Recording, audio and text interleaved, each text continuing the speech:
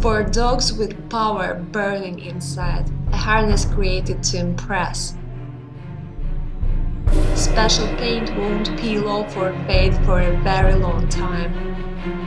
The painting is made by hand, so each harness is a unique item.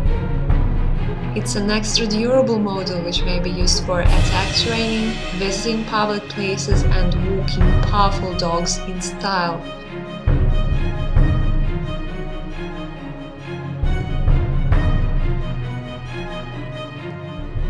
There is a wide padded chest strap for great load distribution, felt padded front straps and back plate for protection from fur damaging and rubbing, comfy handle on the back for fast grip possibility, wide adjustable straps for a snug and comfy fit.